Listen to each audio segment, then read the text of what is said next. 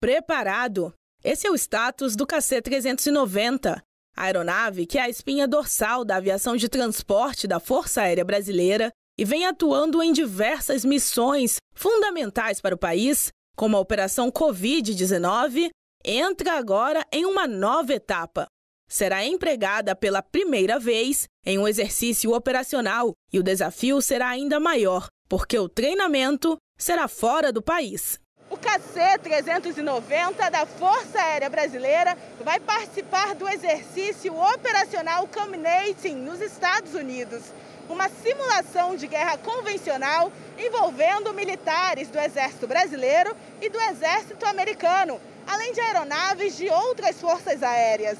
Nesta reunião, os militares do primeiro grupo de transporte de tropa, Esquadrão Zeus, apresentaram os detalhes finais da participação do KC-390 no exercício. A preparação toda foi para executar uma missão de assalto aéreo terrestre com 9 C-17, 6 60-30J e um KC-390, lançando um pouco mais de 4 mil homens em uma noite. Primeira missão internacional operacional. É uma oportunidade que nós estamos tendo para desenvolver a doutrina do avião e mostrar a capacidade do avião.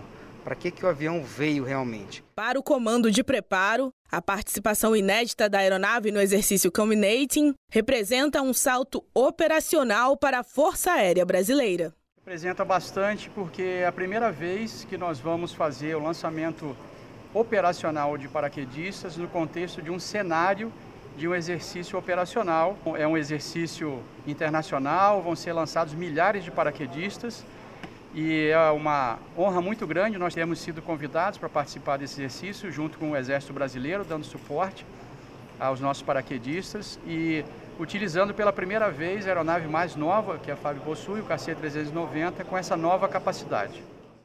Força Aérea Brasileira. Asas que protegem o país.